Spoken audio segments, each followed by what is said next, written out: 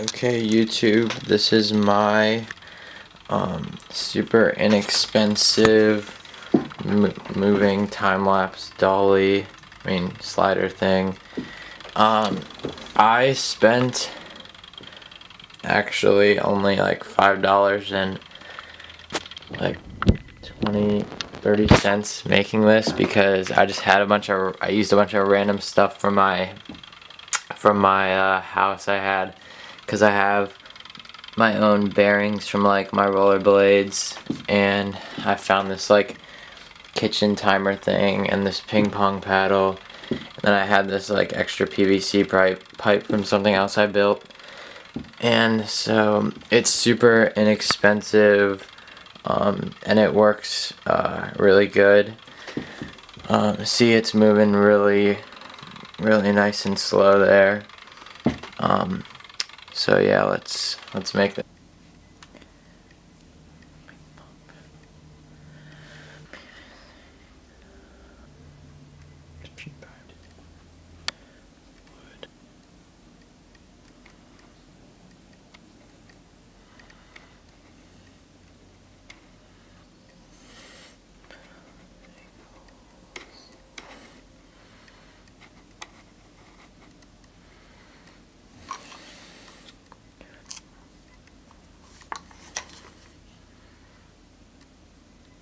Okay, let's start out with the uh, slider mechanism thing. Uh, so the idea is to use these bearings from like rollerblades or skateboards, skateboard wheels to slide on the PVC or metal pipe. The bearings make it super smooth and like zero friction and stuff. So um, it won't need that much like energy to pull it. Um, so to put them on, I just drilled holes like about a fourth of an inch from the corner of these metal angles. Um, and I use these axles for my rollerblades, but I mean, unless you have rollerblades, you probably won't. I mean, unless you have rollerblades, you probably won't have these. So you could just um, get like a little hex bolt from Home Depot or something. They're they're super cheap and uh, screw it on right there, and it'll spin fine but you probably will need like a spacer or something to make it further out from there. And then you'll be good on putting these these things on. And then I had I just found this random bolt in my in one of our toolboxes and that's to screw on the tripod. So and then I didn't feel like screwing um, these metal angles onto the wood. So I just got some Gorilla tape, taped it on. It works fine.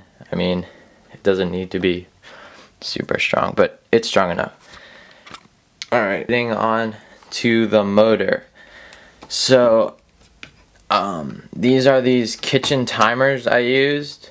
Like, it only costs probably like $5 or something, but I just had one from a really long time ago in our kitchen that we weren't using so my mom let me use it. Um, so I just taped it on right here. I could just have it on like a separate thing but I, I just wanted to put it on right there because it fit fine.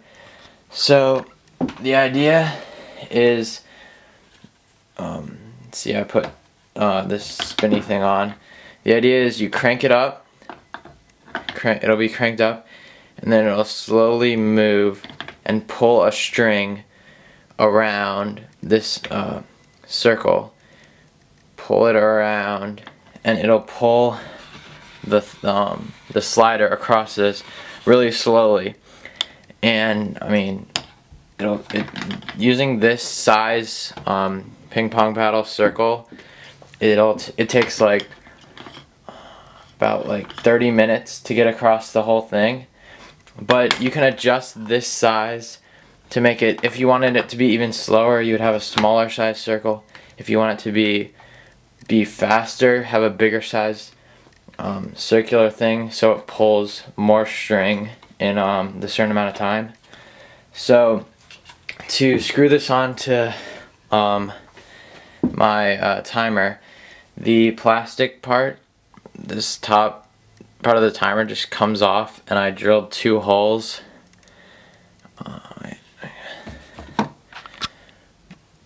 I drilled, yeah, I drilled these two um, screws into the um, timer so it's nice and sturdy on there.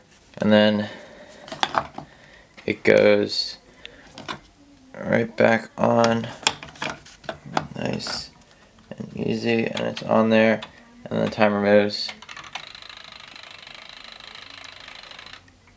Okay.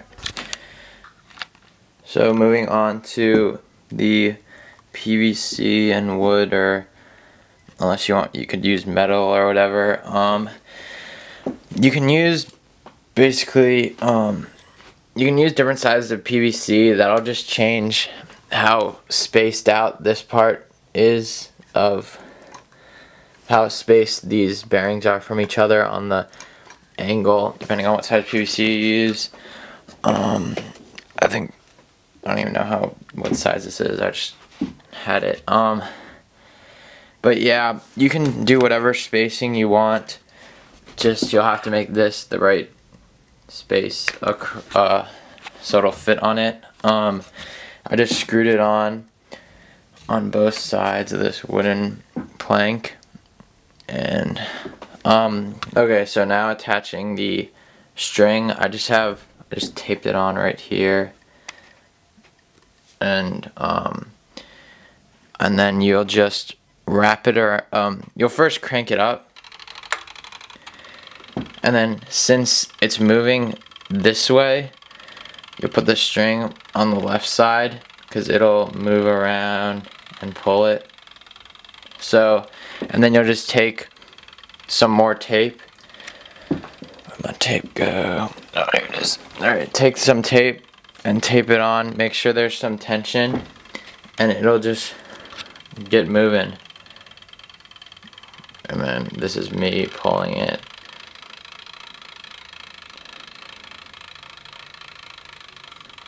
Oh yeah, so I forgot to mention that on the ping pong paddle for the um, string to move efficiently inside it, I just got my Dremel and made this little indentation around the whole thing so as the string goes around it goes inside the little indentation right there. So yeah, this is my um, DIY camera slider. Um, if you buy the parts, it'll probably end up costing around like um, maybe 30 bucks, including because the bearings might cost a little more, but all the other parts might cost like 15 to 20 dollars, and it works really awesome. And uh, hope I, hopefully I can see some nice time lapses out there. Alright, thanks for watching guys.